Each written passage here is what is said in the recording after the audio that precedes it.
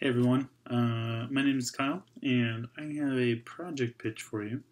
Um, it's called Carnac. It's a thing I came up with um, a few months back uh, while I was working on a client project.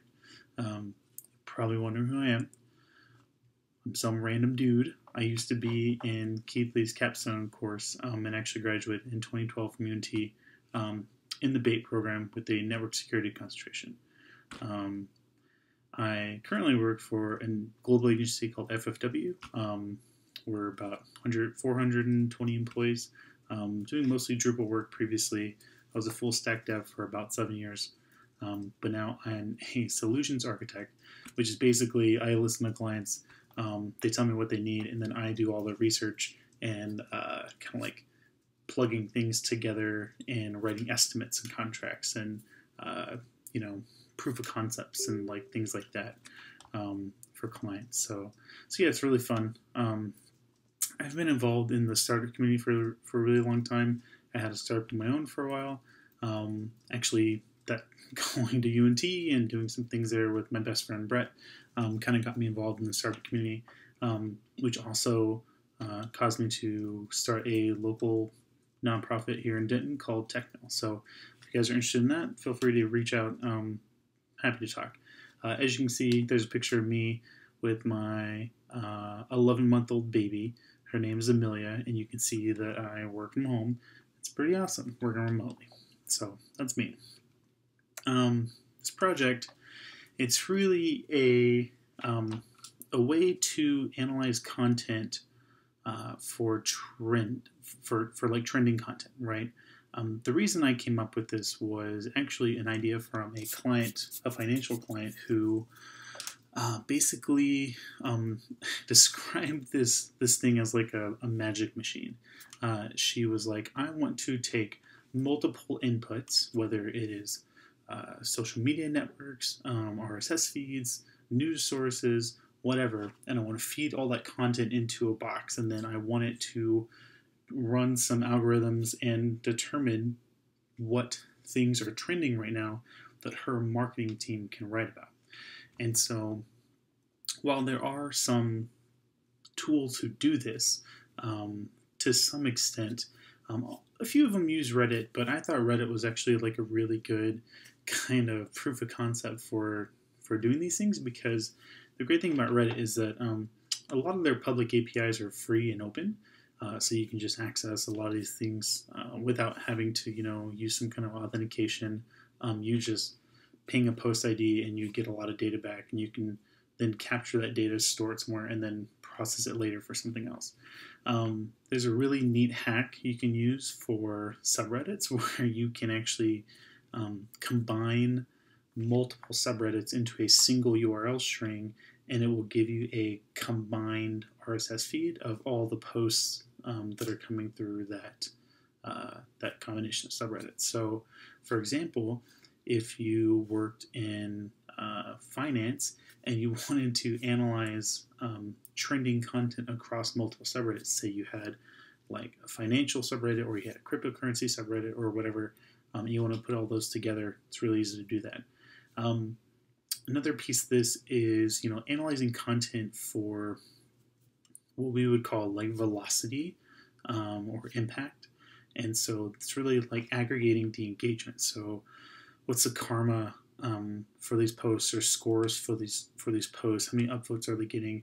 How many people are, are commenting on it?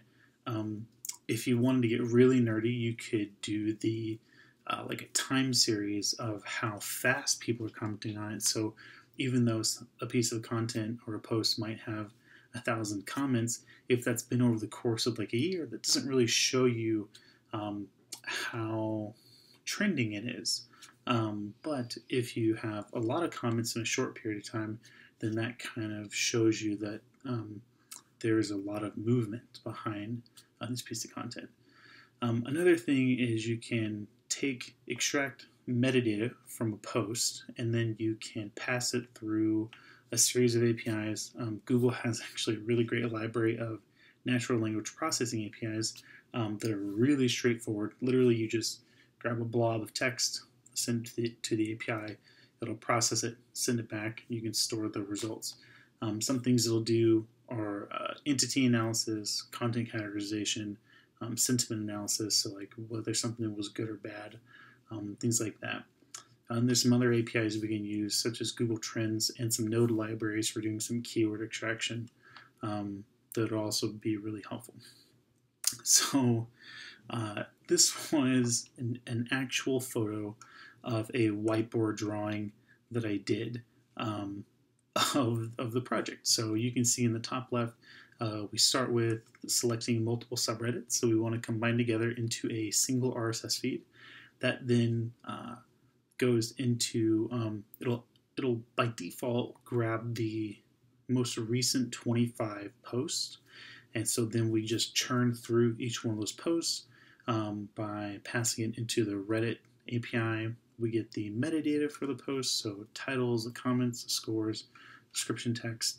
Um, if you wanted to get more data like the users so maybe you see what users post uh, like the most trending content. So if it turns out that this one user has a lot of these a lot of other posts linked to them um, maybe we should start looking at the user and you can do like influencer scoring which is kind of a thing.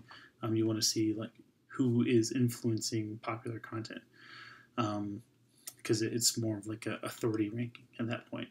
Um, then you pass it in each one into the you know nlp um, apis to do all the analysis you take the export of that store it somewhere um, then you can take like the keyword extraction or phrase extraction and you can pass that into Google Trends, and then Google Trends will give you back a chart of um, how those keywords are doing over a period of time. Um, once you get all those results back from your processing it, you can then put it into an interface where um, you know it just kind of gives you a summary of what the trending content is at the time, and you kind of there will be some kind of scoring system that we'll need to figure out. Basically, what makes a piece of content trending. Honestly, it's like uh, if it's really f- if, if it's really far positive or negative because just because it's negative doesn't mean it's not popular. Um, but so we can use a sentiment analysis. We can use the total score of the comments, total score of the upvotes, um, time it has been uh, alive. So when was it created? Was it a new piece of content? Was it an old piece of content? Um, you know, and then also look at just like a summary of like keywords and see what's hot. Um, and so this was just something I mocked up um, in like a UI tool when I was just you know playing around with it. Um, you know, this was just a couple things that you know just a example interface. I imagine this would be in something like an Electron app. Um, where a lot of this can actually run locally. You don't really have to have a web app online. It would be cool if you had a single source that you were storing the results of, of the API. So, for example, if multiple people were using a desktop app analyzing Reddit posts, and one of those Reddit posts um, shows up across multiple subreddits, then we don't have to run the API twice. We can just run it the one time and run it back. Now, the problem with that is that, um, of course, um, we uh, the scoring can be weird at that point. So one thing that would need to be checked all the time or be updated would be like the comments and things like that, because those will obviously be changing. Um, but the things that don't need to change um, is the uh, natural language processing stuff because that's all static because that's that's just being ran on the content of the post, um, not necessarily uh, you know anything else. So, you know, that's one idea. So yeah, that's basically it. That's the the pitch, project pitch. Um, you might be wondering where the heck Carnac came from, where the name Carnac came from. Um, if you've ever watched any, you know, old TV shows, um, Carnac was actually a recurring Johnny Carson character um, who could uh, tell you unknown answers to unseen questions coming from a hermetically sealed envelope. So, uh, you know, we're trying to figure out things that no one's telling us answers to. So that's where we got the name from. So yeah, that's basically it. Um, thanks for listening to my pitch. Hopefully Keith showed this, showed this to you. Uh, you can check out the empty GitHub repo. It just has some of the screenshots that I just showed you in this in this thing. Um, and uh, yeah, let me know if you guys want to work on it.